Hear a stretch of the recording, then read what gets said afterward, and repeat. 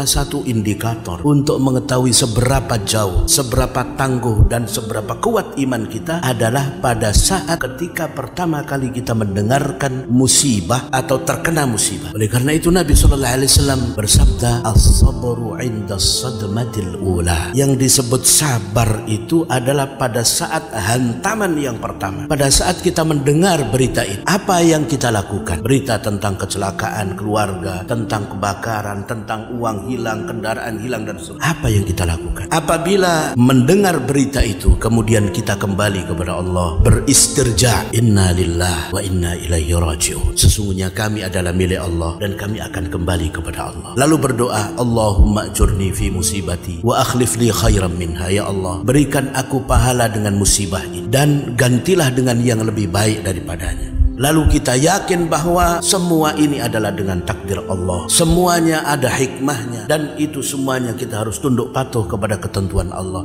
Apabila itu yang kita lakukan, itulah kesabaran yang sejati. Dan inilah yang menunjukkan saldo keimanan kita masih banyak. Saldo keimanan kita kuat. Tapi sebaliknya jamaah sekalian, manakala mendengar musibah atau terkena musibah, lalu kemudian kita hilang ingatan, lupa daratan, memaki-maki, kemudian merobek-robek robek pakaian dan yang sejenisnya, pingsan dan seterusnya, yang menunjukkan ketidakrelaan kita terhadap takdir Allah, tidak mengucapkan istirja, tidak mengucapkan inna lillah wa inna ilaihi raji'un, bahkan kemudian selalu berkata-kata yang tidak baik, maka ini menunjukkan jamaah sekalian saldo keimanan kita bisa-bisa disebut sebagai keimanan yang sangat lemah karena kita tidak percaya kepada takdir Allah, tidak menerima kepada takdir Allah, tidak menerima dengan ketentuan Allah, padahal semua musibah itu lama mani alima a'taita wa la mu'tiya lima man'at. Ya Allah, tidak ada yang bisa mengubah, tidak ada yang bisa untuk menahan apa yang engkau beri. Wa la mu'tiya lima man'at dan tidak ada seorang yang pun bisa memberi apa yang sudah engkau tahan, apa yang engkau tolak.